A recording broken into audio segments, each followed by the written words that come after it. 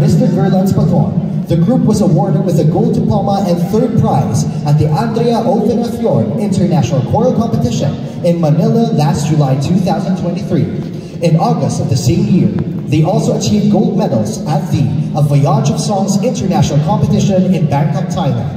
In November of the same year, they were awarded with honorable mention at the National Music Competitions for Young Artists.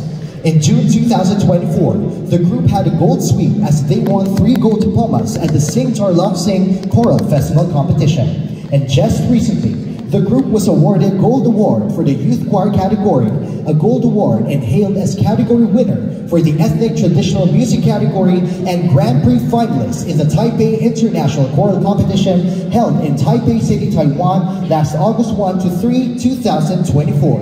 Ladies and gentlemen, the pride of the University of Baguio, the University of Baguio Voices Choral.